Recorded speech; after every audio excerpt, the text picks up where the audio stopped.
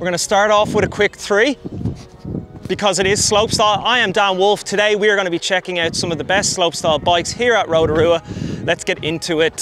First up today we got Max Fredriksson and we are looking at his Cannondale Dave. Max, can you go through your bike?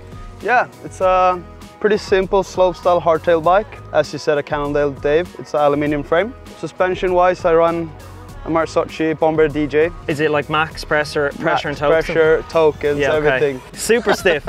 Super stiff. So basically like Yeah. no movement and it's kind of just uh, nearly an insurance policy if you land deep. Yeah, exactly. I wanted to just really move when I actually need it. Yeah. Rather than off takeoffs. This stem is really interesting. You just touched on with me um, while we were setting up. It's a 31.8 mil bar, which allows the stem to be a lot shorter. And what's the length on the stem? 31 millimeters actually. So that must be the shortest on the market. I'm not sure, but it's definitely one of the shortest. Okay. And, uh, yeah, it's great for bar spins and uh, spinning. which we know you do. I see that you got Novatec wheels front and rear here on Conti tires, and some people have been riding carbon rims, but you're on alloy.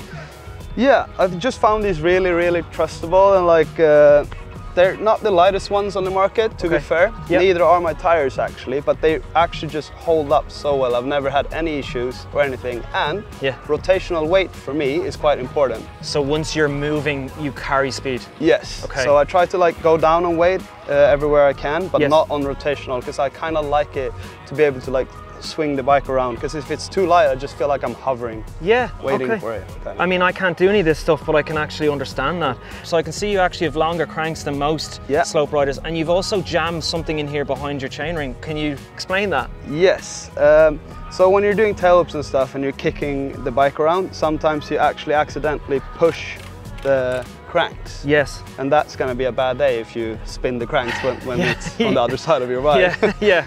But a Very uh, bad day. Yeah, basically just put a tire in there and cut it a hole in it so it goes through the axle and then I jam it together. Okay. That's just going to prevent the cranks from spinning. It's not too much tension. It's not like spinning at all. Yeah. So like it's it's uh yeah. it's How long does that last for? We year, like in a year's worth of riding, say? Uh, well, uh, when I build a bike up, I never change it Okay, until so I get a new bike. Put it on, and that bit Yeah. of tire just stays Yeah. there.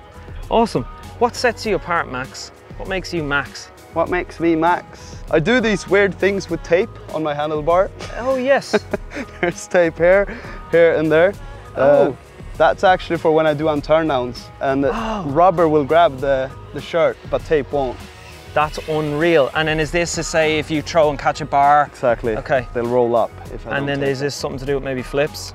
Uh, that's just for when I do triple whips and stuff and do really heavy tail whip maneuvers. Oh wow. Then I pinch it so hard, so I just crack my finger open. So it's, uh, it's just a bit of a I love that. It's Yeah. touches like that that are just so unique to slope riders that are just mind blowing. Okay, well look, that's been an amazing bike check and uh, good luck with the rest of practice. And it's been amazing talking to you. thanks a lot.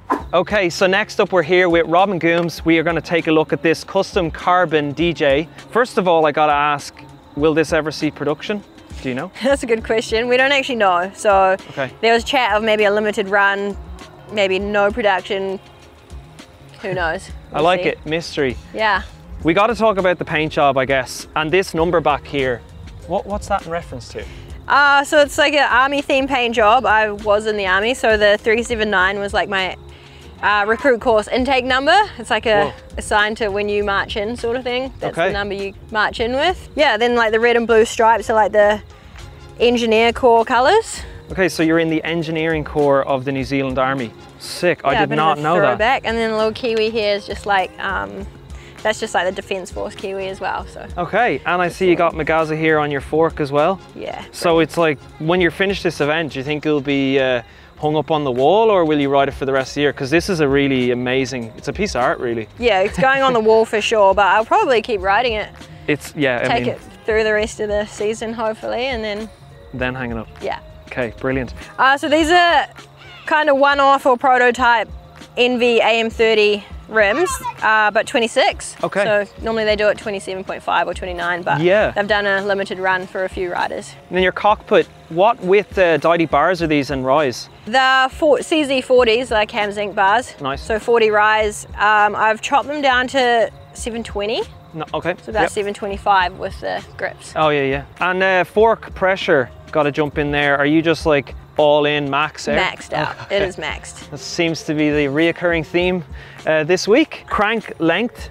Crank length is 165. And do you have anything to slow that rotation down? I do. I've cut a piece of tire and I've inserted it between the BB Okay. and the chainring, and it just kind of like puts a bit of friction in there. Yeah, yeah, because I turned it around earlier and I was like, there's obviously something here as well. This is an unbelievably nice bike. Super light and rigid. That's been Robin Goomes Yeti DJ. Fully, fully tricked out custom bike. Next up, we've got David Godziek's Specialized P3 in this stunning pink and blue color. Let's get into it. Um, I guess, first of all, is this a custom frame for you or is it a stock frame? Uh, no, this is a stock frame, stock color. I just added some design and some more stickers on it, but yeah, I, I like it how it is uh, stock and I really enjoy it. Okay, and then the rear here, we were just talking beforehand, you've a smaller disc to kind of drop weight, and then is it also just so that you don't skid when you're scrubbing off speed? The main reason was uh, I just like it uh, better how it looks uh, like this. So we just cut off a bit the, the adapter, the brake adapter here Okay. uh, to put the smaller disc and yeah, Okay. it looks cleaner for me. Yeah, it looks really clean. I guess we, we need to talk about these wheels. They're kind of stealing the show here. They're i9 hubs, spokes, and rims. Oh yeah, And I see you got Tubolito tubes on Conti tires. oh yeah. So The- super light setup. It's the lightest setup you can you can get. yeah, okay, for sure. so you really go for uh, the lightest bike. I'm trying to, and also I'm a fan of those tires Yeah. because they have, like, they're super Yeah, there's- slick. Yeah. So you you get Really good rolling. so much speed, uh, yeah. so it helps definitely. And what pressure are you riding front and rear? So I got four, 5.5 uh, bar in rear. I don't know is, what that uh, is in it's PSI. 70, Oh. 75 psi. Okay, that's the highest so far. rear Yeah. and uh, 70 or 65 psi in front. Okay, yeah. Yeah. super high pressure. So that's probably like the limit of what the tires are allowed. Probably, yeah. Is there anything stand about about your bike or your setup that is a must for you?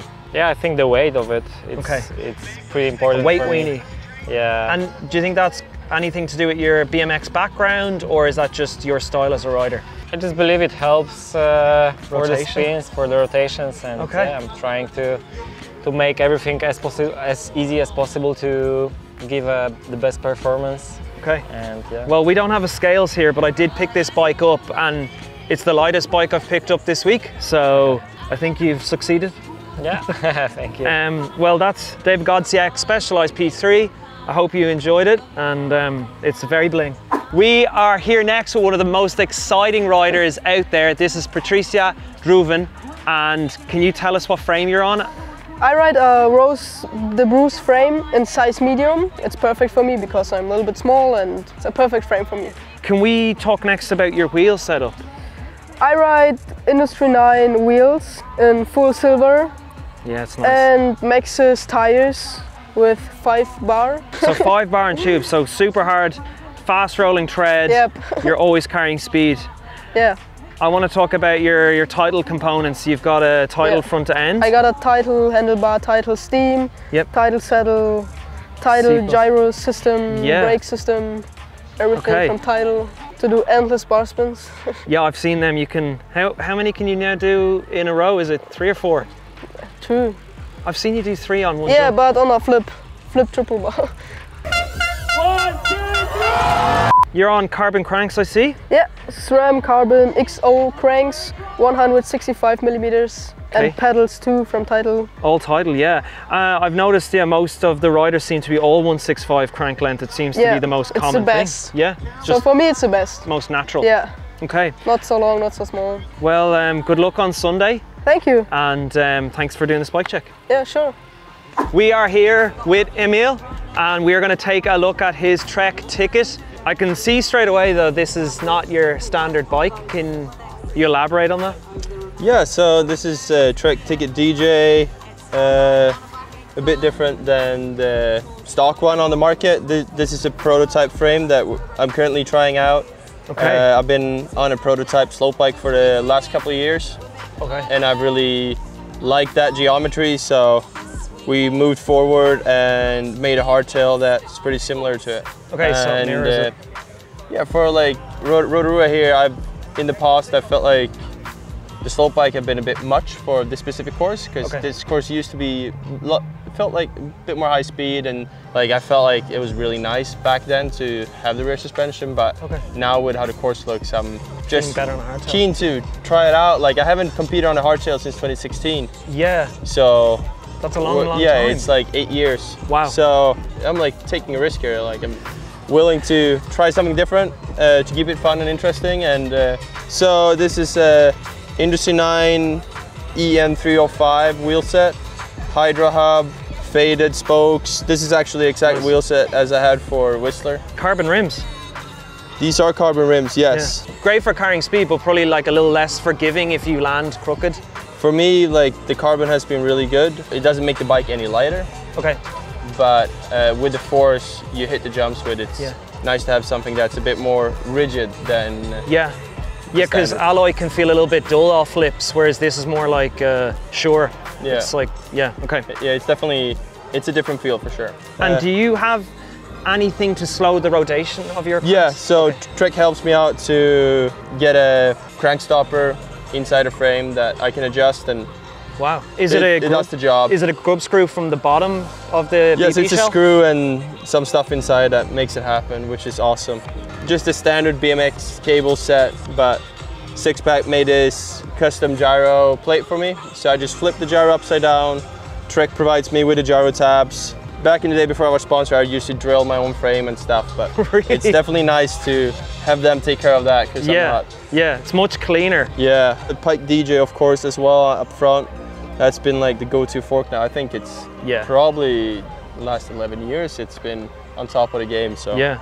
Okay. But well, it's a real eye catcher. Yeah. Paint job's incredible. Yeah. And um, turn out well Good luck this Like- Sunday, man. Thank you very Thanks much. for your time.